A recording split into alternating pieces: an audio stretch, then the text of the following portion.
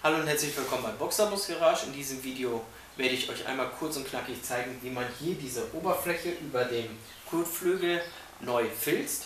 Denn äh, jeder T3-Fahrer kennt es. Hier sind normalerweise so Gummimatten drauf. Die sehen nach einer Zeit nicht mehr schön aus, sind eventuell gerissen, gehen auch ab dann, wenn der Sprühkleber nicht mehr richtig hält.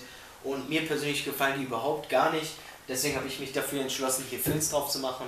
Und ich werde euch zeigen, wie man das hier am besten verarbeitet. Zunächst einmal solltet ihr schauen, dass die Oberfläche sauber ist. Ihr seht hier ist noch ein ganz klein wenig Dreck. Das werde ich jetzt auch noch alles säubern. Und ihr müsst gucken, dass so Roststellen wie hier zum Beispiel einmal abgeschliffen sind, der Rost entfernt ist und einmal dann auch Rostumwandler einmal aufgetragen ist, dass hier kein neuer Rost entstehen kann. Denn wir arbeiten hier später mit Sprühkleber, sprich die Sachen sind dann wieder feste hier aufgeklebt und dann könnt ihr da im Nachhinein nicht mehr dran.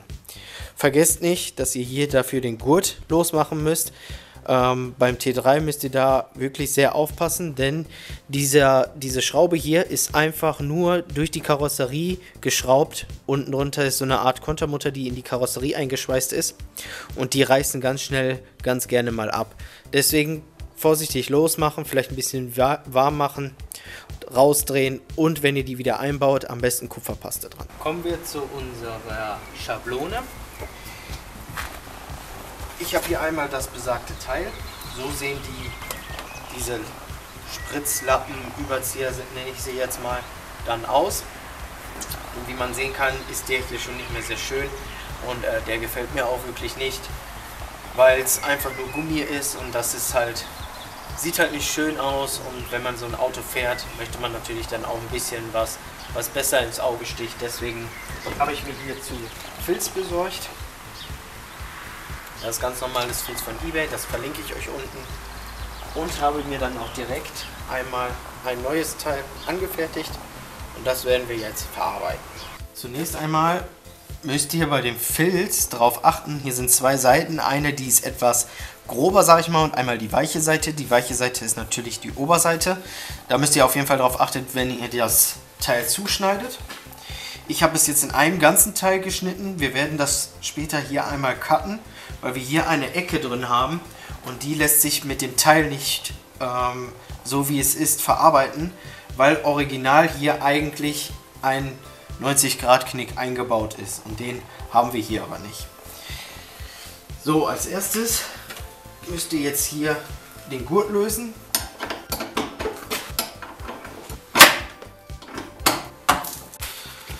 Anschließend reinigen.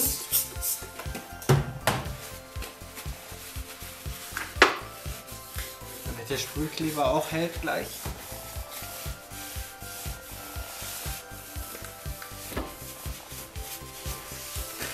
Nun können wir unser Filz auflegen lege das jetzt bis hier hinten in die Kanten rein, so wie ich das haben möchte. Lege es hier jetzt erstmal grob um, wie ich es muss. Ich habe das Teil natürlich jetzt ein bisschen größer geschnitten, weil ihr könnt immer ein bisschen was abschneiden. Dran frickeln ist ein bisschen schwieriger.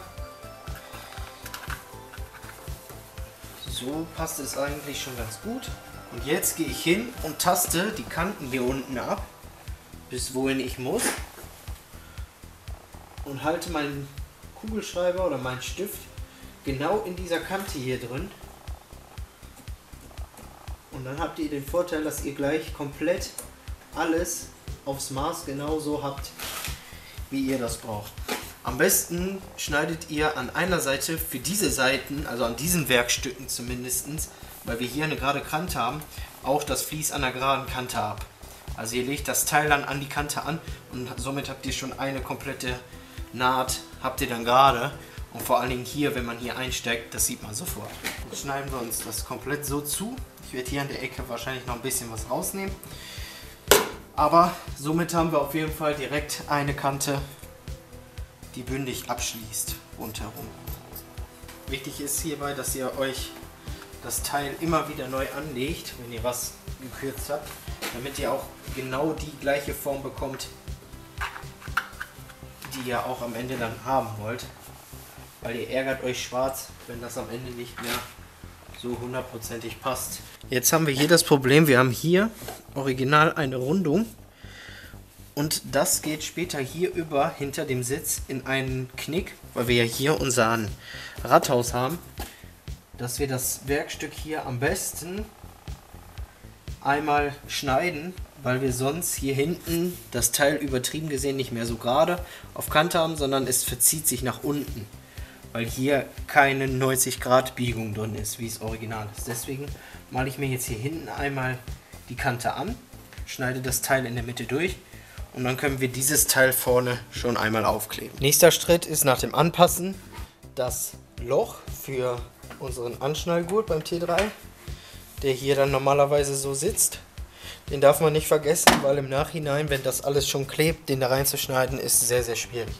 Deswegen ertastet ihr einfach hier das Loch, wo es dann gelegen hat. In dem Fall ist es hier. Und wir machen uns jetzt hier vorsichtig mit dem Kugelschreiber eine kleine Markierung. Jetzt weiß ich ungefähr, wo das Loch war. Jetzt nehme ich mir einmal mein Skapell, das habe ich hier noch übrig. Mit dem lässt sich das nämlich sehr gut schneiden. Und schneide hier vorsichtig das Loch aus. Das muss nur so groß sein, dass die Schraube am Endeffekt durchpasst. Wenn ihr ein bisschen größer macht, macht das, ist das nicht schlimm. Denn das Teil würde das noch verdecken. Aber wir wollen es ja vernünftig haben, deswegen gucken wir, dass wir das Loch so klein wie möglich bekommen.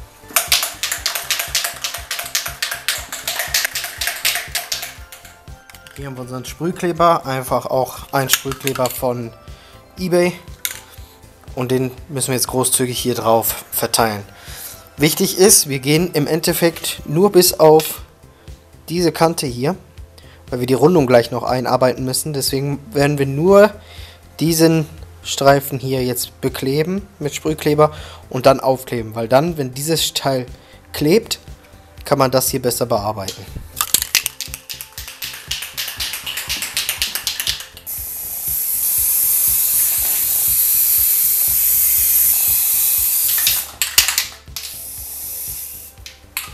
Jetzt muss alles relativ flott gehen. Deswegen setze ich das jetzt einfach hier ganz schnell rein ich mir das so zurecht, wie ich es brauche.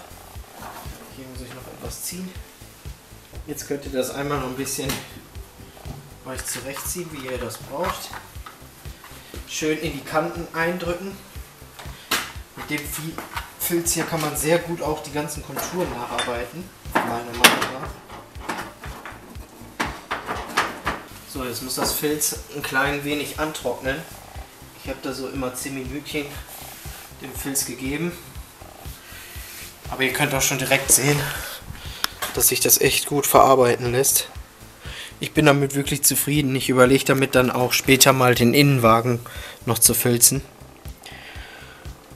Aber so an sich bin ich damit schon zufrieden. Und ich finde es, es sieht einfach wirklich gemütlicher aus, wenn man so in das Auto einsteigt, wie mit den ollen Gummisachen. Wobei ich sagen muss, hierbei auch der Teppich, der ist eigentlich super einfach auskehren mit ein bisschen feuchten Lappen drüber und der ist sauber. Deswegen bleibt der nämlich drin.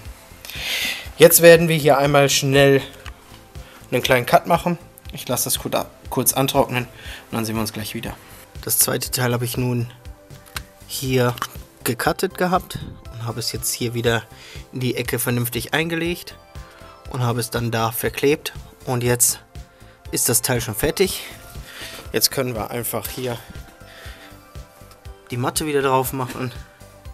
Und wir haben einen wirklich sauberen, schönen Abschluss hier. Und so sieht unser fertiges, gefilztes Stück nun jetzt aus. Ich muss nur noch hier den Gurt dran machen. Und das war es dann auch schon. Sehr einfach, sehr simpel. Ich bin wirklich sehr, sehr zufrieden damit. Das war es auch wieder mit diesem Video. Relativ kurz und knackig. Ich hoffe, ich konnte euch helfen. Wenn euch es gefallen hat, dann lasst ein Like, lasst ein Abo da.